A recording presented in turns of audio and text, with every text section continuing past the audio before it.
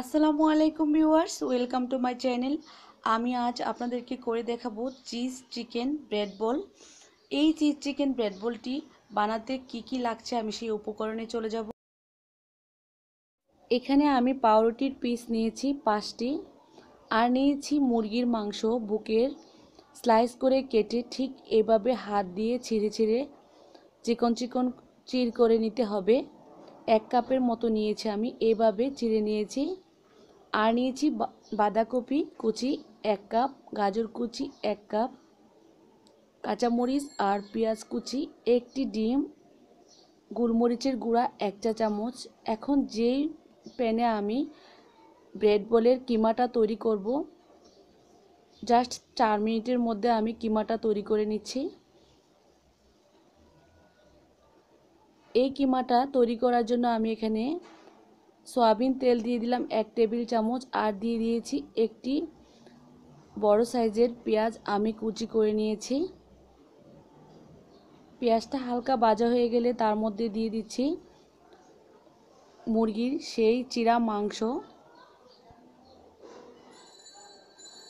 পরিমাণ মতো লবণ দিয়ে এই মাংসটা একটু ভেজে নিতে হবে। এই মাংসটা ভাজতে বেশি সময় লাগবে না, যেহেতু খুব স্লাইস করে কাটা। আর চির করে নিয়েছি, পাতলা। দুই মিনিটের মতো ভাজলেই হয়ে যাবে। তার মধ্যে দিয়ে দিচ্ছি আমি দুই তিনটি মরিচ কুচি। মাংসটা যখন ভাজা হয়ে যাবে, এখন আমি ভেজিটেবলগুলো দিয়ে দিব। আমি দিয়ে দিচ্ছি বাঁধাকপি কুচি আর গাজর কুচি। এখন এগুলোকে একটু মিক্সড করে নিতে হবে মাংসের সঙ্গে। একটু ভাজা হয়ে গেলে এখন আমি দিয়ে দিব এর মধ্যে একটি ডিম। ডিমটা এভাবে সবজির সঙ্গে মিক্সড করতে হবে।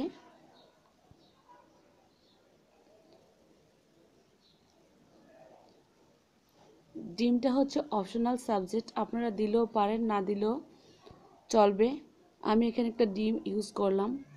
আর এখন দিয়ে দিব গোলমরিচের গুঁড়া, এক চা চামচ। এই গোলমরিচের গুঁড়াটাই আমাদের চিজ চিকেন ব্রেড বলের ফ্লেভারটা নিয়ে আসবে। এখন আর একটু নেড়ে চেড়ে আমি এটা নামিয়ে এক সাইডে রেখে দিব। আর চলে যাব মূল রেসিপিতে এখানে ব্রেডগুলো সাইড একটু কেটে নিতে হবে আর না হয় ব্রেড বলের শেপটা ভালো আসবে না। আমি এখানে সাইডগুলো কেটে নিচ্ছি। এভাবে কাটতে হবে সাইডগুলো। প্রত্যেকটা ব্রেডের সাইড আমি কেটে নিব। এটা কাটার পর যখন বলটা আমরা বানাবো, তখন শেপটা ভালো আসবে। এখন নর্মাল পানিতে জাস্ট একটু দেওয়ার সাথে সাথে পানিতে চুবিয়ে নিতে হবে। তারপর পানিটা হালকা একটু চেপে যে পানিটা এই রুটিটা চুষে নিয়েছিল, এখন এটা ফেলে দিতে হবে। হাতে চাপ দিলেই পানিটা পড়ে যাবে। এর মধ্যে আমি এখন সেই কিমা দিয়ে দিব। আমি প্রথমটা বানাবো যারা ডায়েটে আছেন বা চিজটা খেতে চান না, তাদের জন্য শুধু সবজি আর চিকেনের কিমাটা দিয়ে একটি বল বানিয়ে দেখাবো। এটা যখন এভাবে আমরা বানাবো, তখন মনে হবে যে এটা ফেটে যাচ্ছে বা ছিঁড়ে যাচ্ছে। আসলে না, হাতের প্রসেসে এটাকে বানিয়ে নিতে হবে। যখন এভাবে মুখটা বন্ধ করে আস্তে আস্তে করে হাতে হালকা চেপে চেপে ঘুরিয়ে ঘুরিয়ে বলের শেপটা তৈরি করে নিতে হবে। চাপাচাপি করা যাবে না, হালকা হালকা করে করতে হবে। তাহলে তৈরি হয়ে যাবে সুন্দর একটি বলের মতো। হয়ে গিয়েছে আমার একটি বল। এখন আমি তৈরি করব চিজ বলটা। আবারও একটি ব্রেড এভাবে পানিতে চুবিয়ে নিচ্ছি। তারপর হাত দিয়ে চেপে, এটা দুই হাত দিয়ে চাপতে হবে, না হয় পানিটা পুরোপুরি বের হবে না। ঠিক এভাবে চেপে পানিটা ফেলে দিতে হবে।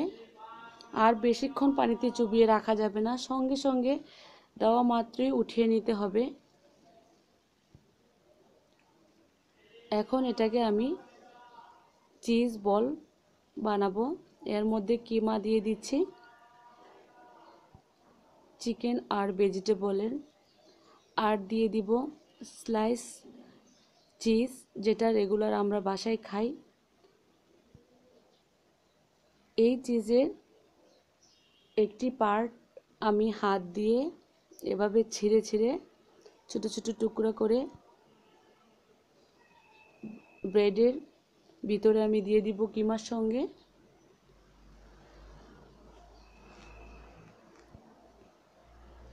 ঠিক এভাবে ছিঁড়ে ছিঁড়ে দিলেই চলবে। আমি একটি স্লাইজের বেশ কিছুটা নিয়ে নিলাম। এখন বলের শেপটা তৈরি করে নেব। মুখটা বন্ধ করে হাতে নিয়ে আস্তে আস্তে এভাবে ঘোরালেই হয়ে যাবে একটি বলের সাইজের মতো। হয়ে গিয়েছে চিকেন চিজ বলটা। আমি প্রত্যেকটা বানিয়ে নিলাম। এখন আমি ব্রেড ক্রামের মধ্যে একটু ঘুরিয়ে ঘুরিয়ে ব্রেড ক্রামগুলো বলের গায়ের সাথে লাগিয়ে নিব। দেখতে আর একটু ভালো লাগার জন্য। আর এই ব্রেড বল ভাজার পরে এমনিতেও ভালো লাগে, কিন্তু আমি একটু ব্রেড ক্রাম বড়িয়ে নিলাম। এখন ডুবু তেলে প্রত্যেকটা বল আমি দিয়ে দিচ্ছি। তেলটা গরম হওয়ার পরে আঁচ, চুলার আঁচটা একদম লোতে করে দিতে হবে। তারপর সামনেই দাঁড়িয়ে থেকে ঘুরিয়ে ঘুরিয়ে প্রত্যেকটা বল বেজে নিতে হবে। খেয়াল রাখতে হবে যাতে একদিকে কাল, লালচে বেশি হয়ে যাচ্ছে নাকি। প্রত্যেকটা বলকে একইভাবে ঘোরাতে হবে। আর লো আঁচে থাকলে তেমন সমস্যা হবে না। হাই আঁচে দিলে কিন্তু বল কাল, কালারটা নষ্ট হয়ে যাবে। ঠিক এভাবে গুড়াতে হবে।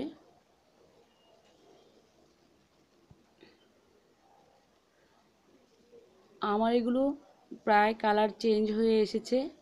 আমি এখন একটি ছাকনি চামচের মাধ্যমে নামিয়ে নিচ্ছি। হয়ে গেল আমার সেই চিজ চিকেন ব্রেড বল। এটা কিন্তু আমাদের ছোট ছোট সোনামণিদের টিফিনে অথবা বিকালের নাস্তায় খুবই পছন্দের একটি খাবার আর আমরা বড়রাও খেয়ে নিতে পারি। এটা ভাঙার পর ঠিক এরকম হবে যেটাতে চিজ দেওয়া ছিল। এটা বাচ্চাদের অনেক হেলদি একটি খাবার। আর আমরা যারা ডায়েটে থাকি তাদের জন্য আমি সবজি দিয়ে, আপনারা যে কোনো সবজি দিয়ে এটা করে খেয়ে নিতে পারেন। সো আমি এরকম করে বানিয়ে দেখিয়ে দিলাম, আপনারা ট্রাই করবেন। আর ভিউয়ার্স আমার রেসিপিগুলো ভালো লেগে থাকলে লাইক কমেন্ট শেয়ার করবেন। আর সাবস্ক্রাইব করতে ভুলবেন না। আজকের মতো এখানেই বিদায়। আল্লাহ হাফেজ।